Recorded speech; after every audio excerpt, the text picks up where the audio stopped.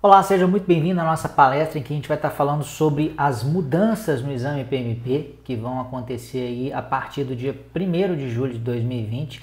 E a gente vai estar discutindo isso aí. É, é uma revolução? Essa mudança é diferente das demais? Né? O que, que você deve fa fazer a respeito? Quer dizer, é, é necessário ou é interessante desde já tentar resolver essa questão da certificação PMP antes da mudança ou não? Ou é viável esperar. Esses são basicamente os principais tópicos que a gente vai estar tratando aqui nessa apresentação. E eu pretendo ser bastante objetivo e antes de dizer aí ou mostrar para você o que, que vai mudar, eu quero mudar o que não está sendo modificado, o que é bastante importante também.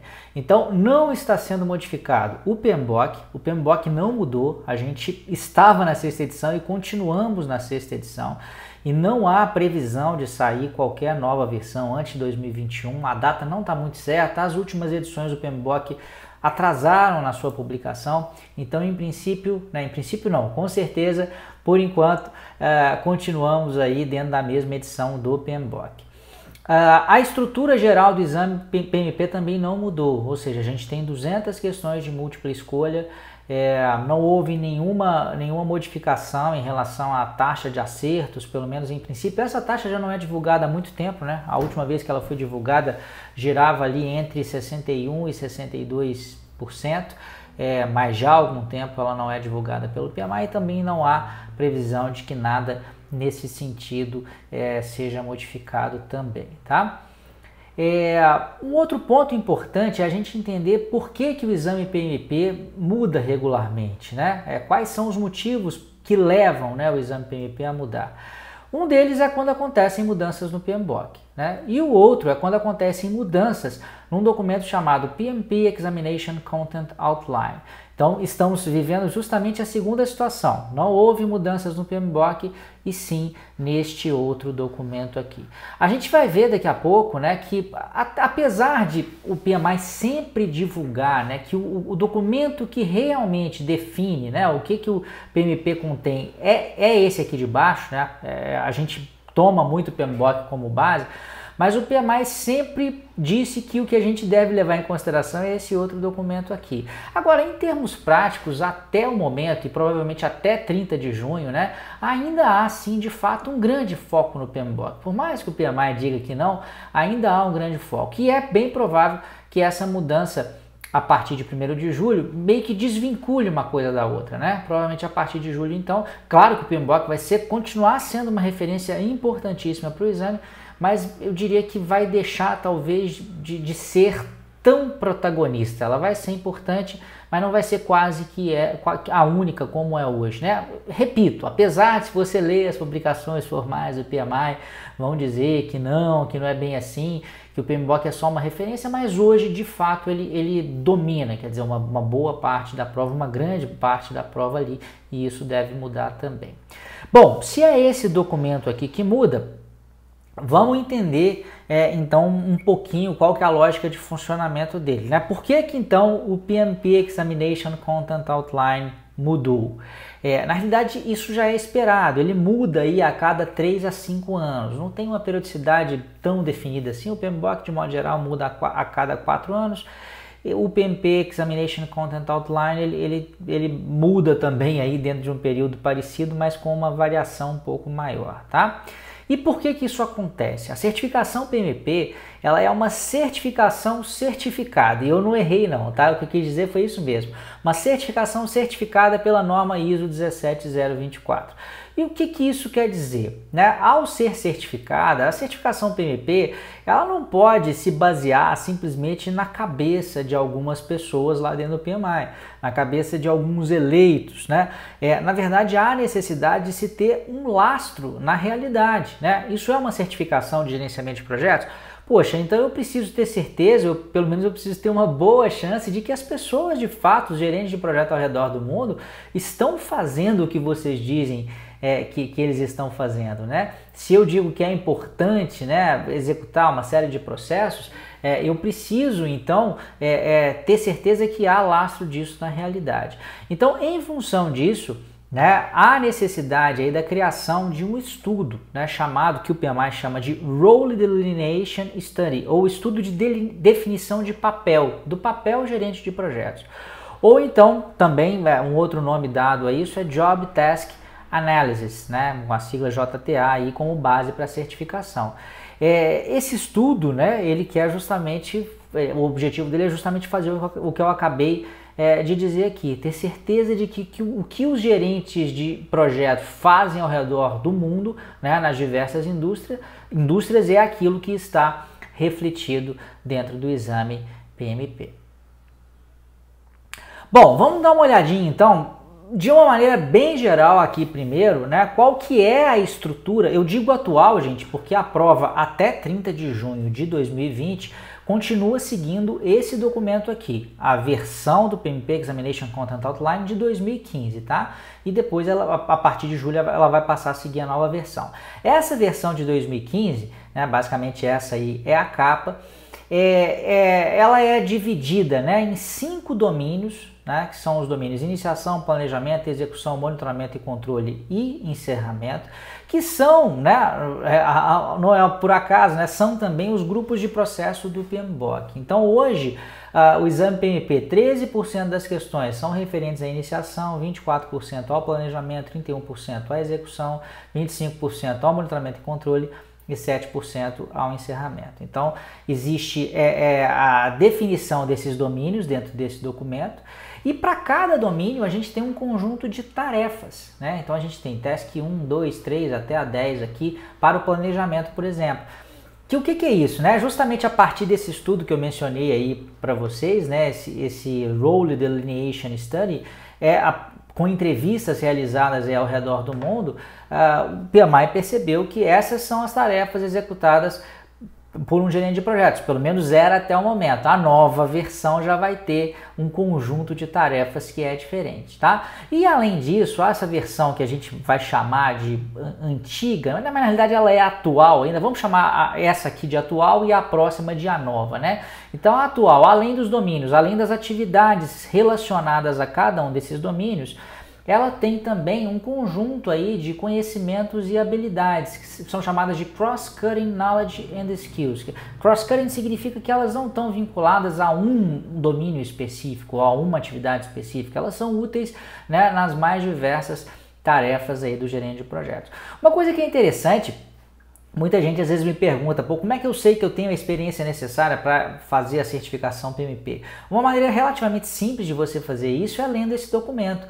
Né? Se você executa essas tarefas que foram colocadas aqui, significa que você né, está executando o trabalho de um gerente de projetos segundo essa visão aí do PMI. E como é que ficou, né? Como é que ficou essa nova edição aqui do PMP Examination Content Outline? Né? Então tem uma capa um pouco diferente, continua tendo como principal objeto de divisão aí os domínios, só que repare que os domínios mudaram totalmente, né? Não são mais os grupos de processo do PMBOK, e sim esses três aqui, ó, pessoas, processos e business environment ou environment ou ambiente de negócios, né? E 42% das questões agora vão estar relacionadas à gestão de pessoas, 50% a processos e 8% a esse ambiente de negócios aí. Essa parte de processos tem muito a ver com os processos do PMBOK, né? Aqui essa parte de pessoas é a gestão de pessoas e, e, a, e a outra, o nome, digamos aí, é auto é, explicativo. E há também tarefas, né? É, a descrição de tarefas para cada uma, para cada um desses domínios aqui. Nessa edição, né, do Content Outline, foi suprimida aquela aquela seção de cross-cutting knowledge and skills, aquelas habilidades. Tudo ficou descrito aqui dentro, né, da, da, das tarefas mesmo e dos domínios, tá bom?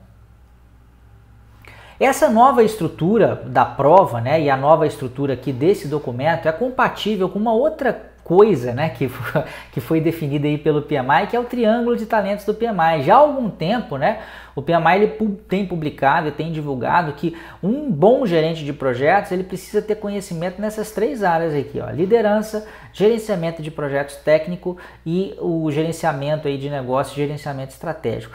Repare que os nomes não são exatamente os mesmos, mas dá para a gente traçar uma, uma correlação né, de liderança com gestão de pessoas, esse gerenciamento de projeto técnico com a parte de processos e essa parte aqui de gerenciamento estratégico de negócios com aquela parte lá de ambiente de negócios.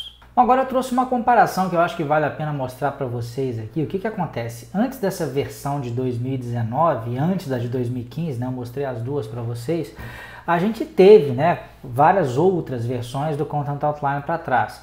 E, e, a anterior é essa de, que saiu entre 2010 e 2011. E o que eu quero mostrar é o seguinte, olha só, a mudança de 2010 para 2011 em relação aos domínios foi praticamente nenhuma, né? Só houve uma maneira um pouquinho diferente aqui, ao invés de, de initiating the project tem só initiating, ao invés de planning the project tem só planning. É, é, e na verdade os números são praticamente os mesmos. O que aconteceu foi só que saiu um ponto percentual aqui da execução, né? E teve uma, uma outra, uma, uma, ou melhor, houve um aumento, né? De 30 para 31 na execução e uma diminuição de 8 para 7 aqui no encerramento. Basicamente é isso. Comparando com a mudança que vai acontecer agora, a gente vê que a coisa é bem diferente, né? A gente tinha esses cinco domínios, nós temos só três agora, só pessoas, processo e business environment, e obviamente os percentuais são todos diferentes. Agora, o que eu acho, além dessa mudança aqui, que, que mostra ser é, bastante importante, né? Eu acho que a maior mudança ainda não está aí. Né? O grande foco da mudança, ao meu ver, tá nessa nota aqui que estava colocada na mesma página lá do, do Content Outline em que esses percentuais são distribuídos, eu até trouxe a tradução aqui do português para vocês verem. Olha só, então o que está aqui em português é o que está aqui em inglês, é porque na realidade o documento é em inglês. Ele diz, nota importante, a pesquisa realizada através da análise das tarefas do trabalho, que é aquela pesquisa mundial sobre a qual eu já falei com vocês, validou que os profissionais de gerenciamento de projetos de hoje trabalham em uma variedade de ambientes de projeto e utilizam diferentes abordagens de projeto. Assim, a certificação PMP refletirá isso e incorporará abordagens em todo o espectro da entrega de valor. Cerca de metade do exame representará as abordagens de gerenciamento preditivo de projetos e a outra metade representará abordagens ágeis ou híbridas. Abordagens preditivas ágeis e híbridas serão encontradas em todas as três áreas de domínio listadas acima e não estão confinadas a nenhum domínio ou tarefa particular. Ou seja, uh, processos, pessoas e business environment eh, se aplica tanto ao gerenciamento preditivo quanto ao gerenciamento ágil ou híbrido. Mas por que, que isso aqui é o grande foco da mudança, meu ver? Porque praticamente tudo hoje dentro do exame PMP hoje é voltado para o gerenciamento preditivo. Então, se agora está dividido meio a meio, significa simplesmente que a gente vai ter uma metade da prova, que é 50% da prova, que é totalmente nova. Né? Então, é, é, a meu ver, esse é o grande motivo, e aí já entrando numa segunda parte aqui né, desse, dessa palestra, porque eu queria primeiro mostrar se a, mudança era grande ou não era, e de fato ela é, essa é a conclusão a que chegamos, e o que você deve fazer a respeito. Então, a minha recomendação sobre o que você deve fazer a respeito é muito simples: é a seguinte, faça o exame antes da mudança, antes de 1 de julho né, de 2020. Ou esteja preparado para estudar o dobro. Alguém pode chegar e me dizer: não, mas eu não tenho como fazer agora porque eu estou com outros planos, eu estou fora do Brasil, eu estou com muito trabalho em casa, eu estou com muito trabalho no serviço. Tudo bem, né? Claro que cada um tem aí o seu momento, mas esteja ciente de que é, tudo, hoje já há uma extensão muito grande de conteúdo dentro do exame PMP e tudo isso que há de conteúdo hoje será suficiente para responder aproximadamente a metade da prova. A outra metade será conteúdo novo referente aí a métodos ágeis e a métodos híbridos. Então acho que aí dá para você ter uma, uma, uma, boa clareza aí, né, do que, que corresponde fazer a prova antes ou depois da mudança. Claro que a opção sempre é de cada um, mas você precisa ter as informações aí ao seu dispor. Então, só para te dar mais alguns argumentos aí, né? Por que fazer antes da mudança? Primeiro que eu já falei, conteúdo menos extenso. Segundo, menos incerteza em relação ao conteúdo. É, eu já passei, eu ajudo pessoas aí a passarem no exame PMP desde dois, eu, eu fiz a prova em 2005, desde 2006, profissionalmente desde 2008. Só na internet, né? Eu tenho meu curso preparatório desde 2011. É, e o que, que acontece? A gente sabe que sempre que há uma mudança na prova, há uma incerteza muito grande sobre como será a nova prova. E a gente só vai ter uma clareza grande mesmo à medida em que as pessoas começam a fazer essa nova prova e começam a fazer relatos né, a respeito da sua experiência com a prova. Antes disso, é tudo uh, só uma elocubração, a gente não tem certeza de exatamente qual foi a extensão da mudança. E dessa vez vai ser muito pior, né, justamente pelo fato da gente ter essa, essa mudança é, bem maior. O fato é que se você não fizer essa prova antes de 1 de julho de 2020, há boas chances de você só vir a fazer em 2021. Primeiro, por causa do tempo de preparação, a gente já vai falar a respeito disso já já. E segundo, porque fazer imediatamente depois da mudança costuma não ser uma boa ideia. Né? As pessoas têm muitas vezes aí surpresas desagradáveis. Então, se você não fizer logo depois do dia 1 de julho, é bom pensar em fazer só no final do ano ou talvez só no início de 2021. Então, uh, coisas que eu acho que você deve fazer. Primeiro, começar a se preparar o quanto antes, não adiar mais. Né? Uma boa preparação leva aí de 3 a 4 meses e a gente sabe que na nossa vida sempre aparecem os imprevistos, né? Então, se você deixar na conta do chá ali, se você pensar, pô, primeiro de julho, né? Então eu vou ter, é, se você contar junho, por exemplo, já é um risco danado. Junho, maio, abril, é, é, março. Se você deixar para começar a estudar muito na véspera, você corre um risco muito grande né, de não conseguir cumprir aí um bom a, a, a, roteiro de estudos e acabar fazendo a prova de qualquer jeito e acabar fazendo é, é, perdendo o seu investimento. Então, o mais seguro é você realmente começar o quanto antes para que você tenha condições de administrar os riscos, administrar os imprevistos da sua vida aí é, e ainda assim conseguir fazer a prova é, numa boa com tranquilidade.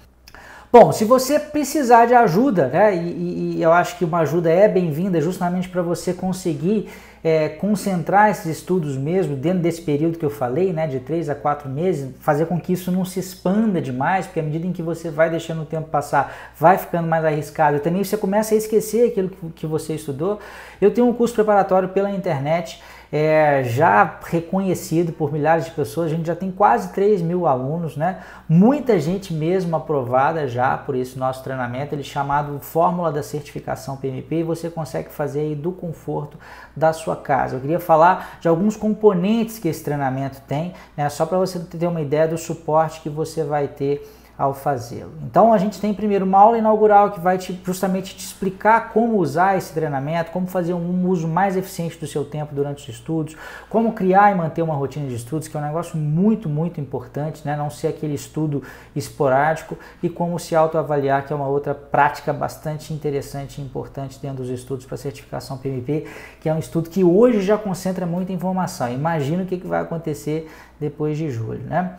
ou a partir de julho. O componente número 2 são os nossos módulos pré-gravados. Então aqui é que a gente tem o grosso de conteúdo realmente do curso. Né? São 12 módulos é, pegando tudo que cai na prova. A gente tem o módulo 1 falando da estrutura de gerenciamento de projetos, que são os capítulos 1, 2 e 3 do PMBOK. Depois a gente tem os módulos 2 a 11, né, que são as áreas de conhecimento do PMBOK, né, escopo, cronograma, cursos, qualidade, RH. Realidade de recursos, né? mudou até o nome aqui, onde está tempo é cronograma, onde está RH e recursos, foi expandido isso.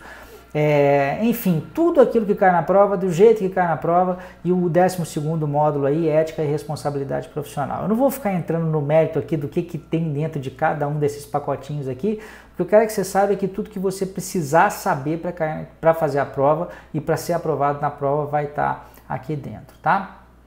É, e a gente vai estar tá disponibilizando, a gente normalmente nas nossas turmas aí disponibiliza um módulo por semana, tá? Para você ter uma cadência de estudos aí. Componentes número 3 são simulados, então para cada um desses módulos a gente vai estar disponibilizando também 20 questões de simulado. Componente número 4 são aulas tira dúvidas. Toda semana né, a gente tem uma aula tira dúvidas em que eu respondo as dúvidas colocadas no fórum na semana passada. Né? Então elas, essas aulas elas são inéditas para cada turma. Elas são gravadas também, mas são inéditas, criadas de acordo com as dúvidas dos alunos. Você vai enviar as dúvidas pelo fórum e no início da semana seguinte você vai ter todas as suas dúvidas respondidas. Então a gente tem mais 12 aulas aí é, só para esclarecer todas as suas dúvidas. E um quinto componente são as nossas aulas VIP. Essas aulas elas acontecem de duas em duas semanas. É, em que eu vou mostrar para você os pontos mais complicados da prova, as principais pegadinhas, A gente faz isso né, sob a forma de questões de simulado, em que eu Essas aulas são gravadas também, né, mas elas são gravadas de uma maneira bem interessante, em que você vai ter oportunidade de resolver essas novas questões, depois eu resolvo e essas dúvidas são exterminadas. São questões um pouco mais complicadas, justamente pelos, por esse meu histórico né, de longa data, aí, de vários anos, né, desde 2006 já ajudando pessoas a passarem na prova, a gente já sabe quais são os pontos de maior é, dificuldade, tá? Além disso, além desses cinco componentes, a gente tem seis bônus aí bem especiais é, para te ajudar também nessa caminhada. O primeiro é um simulado completo de 200 questões com o mesmo nível de dificuldade da prova. Né? No final do curso você vai ter a possibilidade de se testar com esse simulado. Um bônus 2 é um acesso a uma comunidade interativa fechada e exclusiva, então é, é um fórum que a gente tem que você vai poder trocar ideias né, com outras pessoas aí sobre a preparação e comigo também, claro. É, o bônus 3 é um recurso bem interessante que eu chamo de memória em áudio para PMPs.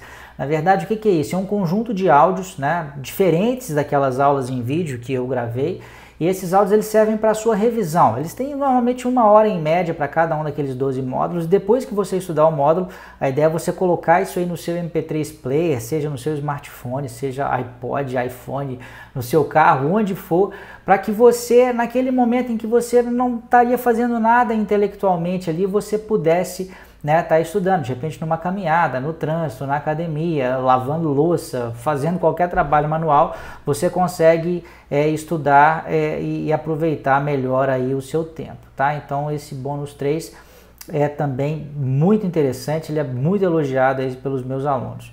É, é, essa figurinha mostra justamente o que a gente quis com ele, né? Não fazer com, fazer com que você não perca tempo e utilize tempos mortos aí, né? Em que você já não estaria fazendo nada, é, digamos, intelectualmente falando.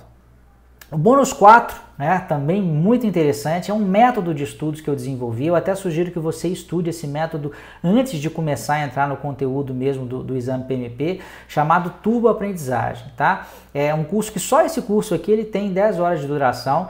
Você não necessariamente precisa estudar ele inteiro, mas eu diria que pelo menos as, os três primeiros módulos seriam interessantes para você saber né, é, justamente como estudar com mais produtividade, você entender aí as melhores técnicas de estudos, para que você gaste menos tempo, para que você tenha uma grande produtividade né? E, e, possa fundamentalmente fazer isso que está na tela, não esquecer o que você estudou, né? Muita gente estuda uma coisa ou outra, hoje chega daqui uma, duas semanas e já não se lembra de mais nada. E aqui a gente está tratando de uma prova de conteúdo extenso, então você não vai esquecer o que você estudou, vai ter mais concentração, mais motivação e mais disciplina para estudar. É, o bônus 5 ele não está diretamente ligado ao exame PMP, mas está ligado à sua carreira. Né? Muita gente faz, a maioria das pessoas faz o exame PMP para ter um trabalho melhor ou um salário melhor. Né? E hoje as empresas usam muito esse recurso aqui para contratar, que é o LinkedIn. Né? A partir do seu perfil no LinkedIn, você é chamado a participar né, de processos seletivos. Então eu vou te ensinar como manter um perfil matador no LinkedIn para aparecer no topo das pesquisas dos recrutadores e encantar os olhos de quem está contratando. E não acabou ainda, a gente tem um sexto e último bônus, que é o guia prático de inscrição para o exame PMP. Nele eu vou te ensinar né, como é que você, o que, que você tem que fazer para preencher os formulários lá do PMI, para que você possa é, é, já conseguir a sua elegibilidade é, dentro do tempo mais rápido possível e já marcar a sua prova aí, tá? Bom, é, esses são os seis bônus, né, junto com todos os, os componentes que eu já mencionei. É, além disso, a gente tem uma garantia incondicional de 30 dias, ou seja, adquirindo o curso hoje, se você em até 30 dias corridos quiser não fazer mais o curso, desistir, é só você mandar um e-mail né, para atendimento.brains.com.br. É, é, na verdade, quando você é, é, fizer a sua inscrição, você vai receber um e-mail nosso e aí é só você né, contactar esse e-mail mesmo é, dentro desses 30 dias corridos, de repente, se você tiver algum problema pessoal, não puder continuar com o curso, ou de repente não se adaptar ao método, você pode pedir a devolução integral é, do seu dinheiro. Eu acho que isso é uma tranquilidade, porque é como se você começasse a fazer o curso né, sem ter um dispêndio real. Quer dizer, claro que você vai efetuar a transação, mas é, é, dentro desses 30 dias é como se você. Como não, né? Você pode decidir é, parar a qualquer momento, então é como se você pudesse fazer o curso uh, 30 dias de graça aí. Existe essa possibilidade, tá? Mas é claro, você tem que primeiro efetuar a transação. No caso da desistência, a gente faz é, o estorno, tá? Isso é só para mostrar para você assim o quanto que eu sou sério, né? E, e, confio nesse método, porque eu tenho a absoluta certeza que ao começar a fazer o curso e seguir as orientações que eu vou passar, você vai entrar numa espiral aí de crescimento e de ganho de conhecimento que não, não vai haver por que é, parar. O preço desse treinamento, R$ 2.287 à vista. É, é, possível parcelar também em até 12 vezes no cartão de crédito. Aí nesse caso tem um pequeno acréscimo da operadora que faz esse parcelamento. Né? É, o pagamento uh, normalmente a gente usa principalmente aí cartão de crédito, mas é possível pagar também via transferência bancária se você fizer o pagamento à vista tá bom? É, Para se inscrever, na verdade, a gente não vai colocar um botão direto, porque a gente né, é, quer que você tenha esse contato anterior, para caso, caso você queira também esclarecer alguma dúvida. É, para se inscrever, basta deixar o seu contato no formulário abaixo, a gente vai pedir para deixar aí o seu nome, seu e-mail e seu telefone com o WhatsApp.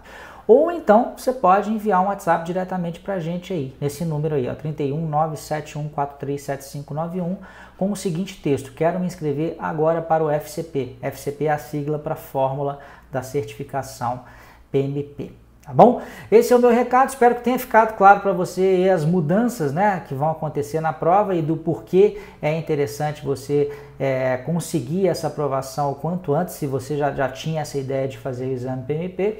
E fica aí também é, o meu convite. De qualquer forma, se você vier, não vier a ser o meu aluno, também não há problema, espero que esse webinar, que esse é, é vídeo aqui tenha é, esclarecido as suas dúvidas a respeito desse assunto. Um grande abraço e até a próxima. Tchau, tchau.